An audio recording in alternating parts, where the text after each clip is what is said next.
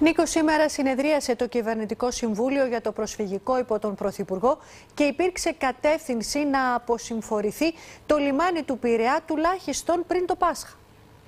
Νομίζω ότι είναι επίγουσα η ανάγκη η κυβέρνηση να δραστηριοποιηθεί και στην Ιδωμένη και στον Πειραιά.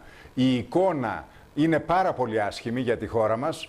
Είναι μια εικόνα που κάνει κακό στην Ελλάδα και από ανθρωπιστικής ε, απόψεως, γιατί είναι μια εικόνα απάνθρωπων συνθήκων διαβίωσης για τους ανθρώπους αυτούς, αλλά παράλληλα κάνει και τεράστια ζημιά στον ελληνικό τουρισμό. Δεν μπορεί τα κρουαζιερόπλια που φτάνουν στον Πειραιά, η πρώτη εικόνα που έχουν μπροστά τους οι τουρίστες, να είναι η εικόνα που βλέπουμε τώρα στο λιμάνι του Πειραιά.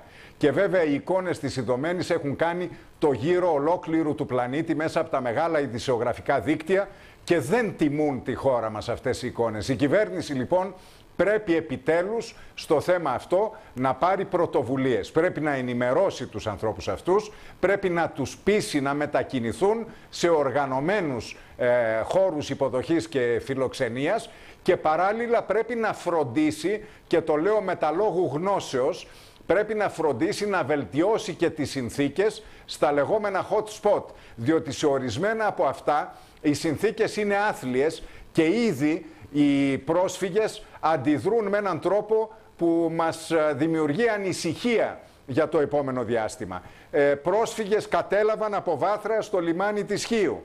Ε, έχουμε απεργία πείνας, ακούσαμε πριν από λίγο, προσφύγων στην Ιδωμένη. Χθες άλλοι πρόσφυγες σε ένα hot spot ε, ξύλωσαν την περίφραξη, ε, βγήκαν και έκαναν πορεία.